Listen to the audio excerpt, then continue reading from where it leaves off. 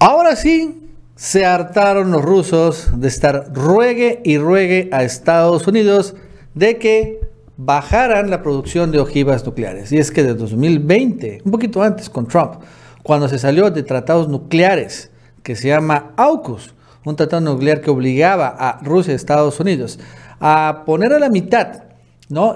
Ah, todas las eh, reservas, ojivas nucleares, eh, y que bueno, finalmente bajaba la carrera armamentista. Bueno, desde octubre de 2020 este, Rusia impulsaba e impulsaba la propuesta de que Estados Unidos regresara a este tratado nuclear, que finalmente se congelara la fabricación de ojivas nucleares e incluso se redujera, ¿no? Para de una u otra manera bajar las tensiones entre ambos países, después de que sucedió con la Guerra Fría y donde estuvimos a punto de todos sufrir una guerra termonuclear y que tuvo su momento culminante en la famosa crisis de los misiles, bueno, sí hubo verdaderas intenciones estadounidenses y rusas para bajar esto. Y lo cierto es que con Trump y después con llegada de Joe Biden, Estados Unidos, pues la verdad es que no ha, no ha querido hacer eso. Se salieron los gringos y no han querido regresar.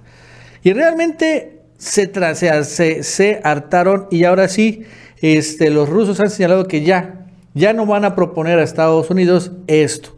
Ya, el tratado, de reducción de ojivas nucleares, de control de armas nucleares, ya también ellos no lo van a seguir.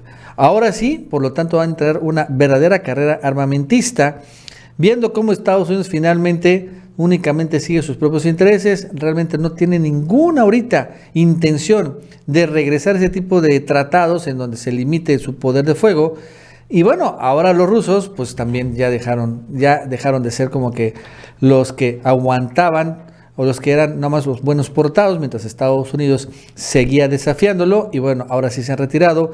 Así que bueno, pues en los próximos años seguramente vamos a ver un exponencial crecimiento de ojivas nucleares, pues entre ambos países en una buena, pues Guerra Fría 2.0. Bueno, esto y más nos va a contar Aaron Díaz. Aaron, ¿qué tal? ¿Cómo estás? Buenas tardes. Hola amigos y amigas, bienvenidos a un video más. ¿Y de qué tema hablaremos en el video del día de hoy? Pues vamos a hablar de cómo Rusia se está cansando de Estados Unidos y está bastante enojado. Y es que lo que pasa es que Rusia y Estados Unidos habían tenido un acuerdo, un acuerdo donde ninguno de los dos países iba a, a estar aumentando el número de ojivas nucleares que tenían. Este acuerdo se llama START, en el cual los dos países también se iban a estar informando cuántas ojivas nucleares tenían, en dónde las tienen y todo el estatus que se necesita sobre estas ojivas. Y en este acuerdo, Rusia había llegado con Estados Unidos, tener una, inclusive una extensión. Esta extensión la buscó en octubre del 2020, donde iba a agregar más días, un año para ser preciso, al acuerdo, para que los dos países hubiera transparencia entre las dos naciones, entre los dos ejércitos y se dijeran esta información. Estados Unidos había dicho que no, que no estaba de acuerdo al principio cuando todavía teníamos a Donald Trump, pero una vez que llegó Joe Biden, Joe Biden le dijo que sí, que estaba de acuerdo y firmaron el acuerdo por cinco años más. Así, ya estaban de acuerdo en que los dos iban a compartir esta clase de información. Y el problema viene llegando cuando Estados Unidos decide meterse a este acuerdo nuclear con Inglaterra y con Australia. Porque en la práctica lo que va a hacer Estados Unidos es pasarle la información o la tecnología nuclear a Australia para construir estos submarinos nucleares.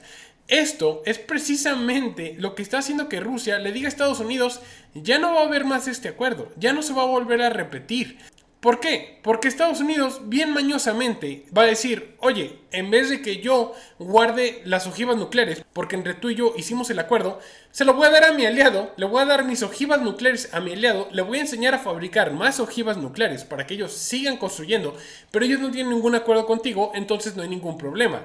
Rusia se da cuenta de esto, se da cuenta de que le están viendo la cara y ya le dice, ¿sabes qué? En cuanto se acabe esto, ya, no volvemos se acabó este acuerdo.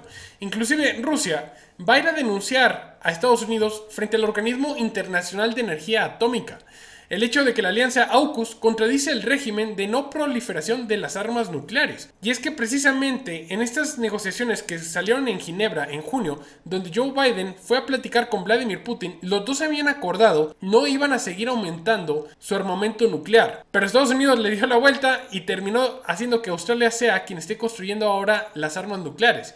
Entonces Rusia ya se cansó, ya le dice, ¿sabes qué? Vamos a romper el pacto ya no se van a compartir esta clase de información y para entender bien qué hace este pacto, aquí les dejo un resumen. START también debería abordar las armas nucleares no estratégicas, comenzando con un acuerdo de transparencia que requiera declaraciones detalladas sobre las reservas nucleares tácticas, incluidas las ojivas almacenadas. Y aquí nos dice más o menos cuántas armas nucleares tiene cada país. Rusia dice que tiene entre 1000 y 2000 armas nucleares, mientras Estados Unidos posee unos pocos cientos, incluidos 160, que están desplegados en cinco bases de la OTAN en Europa. Entonces, así está la cosa.